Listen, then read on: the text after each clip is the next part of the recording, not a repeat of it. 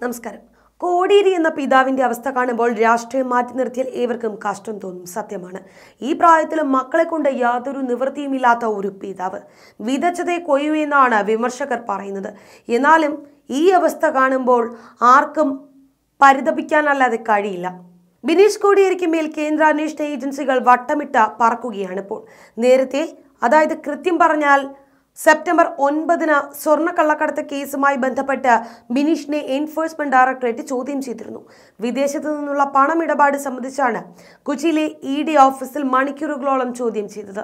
ഇതിന് പിന്നാലെ കള്ളപ്പണം വെളുപ്പിക്കൽ നിരോധന നിയമപ്രകാരം കേസെടുക്കുകയും ചെയ്തു. ബിനീഷിന്റെ സ്വത്തുവകകൾ സംബന്ധിച്ച വിവരങ്ങൾ കൈമാറണമെന്നും എൻഫോഴ്സ്മെന്റ് ഡയറക്ടറേറ്റിനെ അറിയിക്കാതെ സ്വത്ത് ക്രയവിക്രയം നടത്താൻ പാടില്ല എന്നും നിർദ്ദേശവും ഉണ്ടായിരുന്നു ദേ ഇപ്പോൾ അടുത്ത കുരുക്ക്. കോടിയേരി പുത്രൻ ബിനീഷിനെ മയക്കുമരുന്ന് കേസുമായി ബന്ധപ്പെട്ട ബംഗളൂരു എൻഫോഴ്സ്മെന്റ് ചോദ്യം ചെയ്യാൻ ഒരുങ്ങുകയാണ്.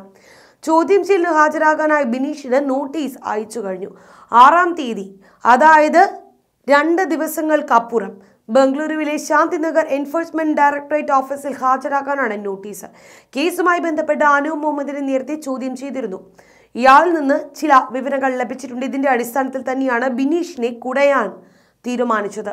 അഞ്ചു വർഷങ്ങൾക്ക് മുൻപ് അനു മുഹമ്മദിന് കമ്മനഹള്ളിയിൽ ഒരു ഹോട്ടൽ തുടങ്ങാൻ ബിനീഷ് പണം നൽകി സഹായിച്ചിട്ടുണ്ട് എന്ന് നാർക്കോട്ടിക്സ് കൺട്രോൾ ബ്യൂറോയ്ക്ക് ഒരു മൊഴി ലഭിച്ചിട്ടുണ്ട്.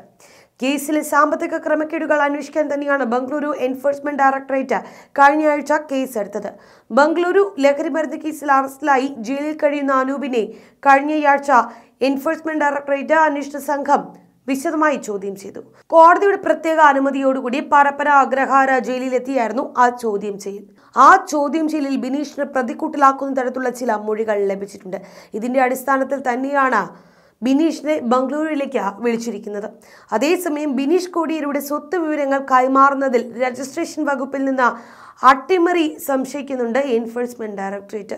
ബിനീഷ് കോടിയരുടെ സ്വത്ത് വിവരങ്ങൾ കൈമാറുന്നതിലെ കാലതാമസത്തിൽ എൻഫോഴ്സ്മെന്റ് ഡയറക്ടറേറ്റിന് കടുത്ത അതൃപ്തി ഉണ്ട് എന്നും റിപ്പോർട്ടുകൾ ചിലത് പറയുന്നുണ്ട്.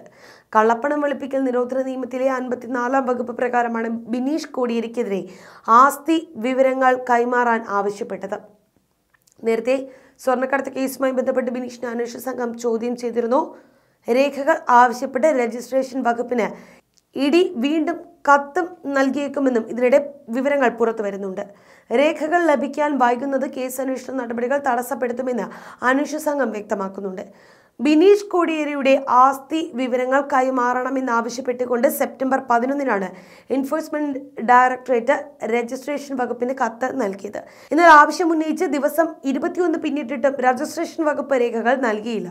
വിവരങ്ങൾ ശേഖരിക്കുന്നു എന്ന് മാത്രം പറഞ്ഞുകൊണ്ടാണ് രജിസ്ട്രേഷൻ വകുപ്പ് മറുപടി നൽകിയിട്ടുള്ളത്. ഇത്തരത്തിലുള്ള ഒരു വിശദീകരണം തന്നെയാണ് നൽകിയിരിക്കുന്നത്.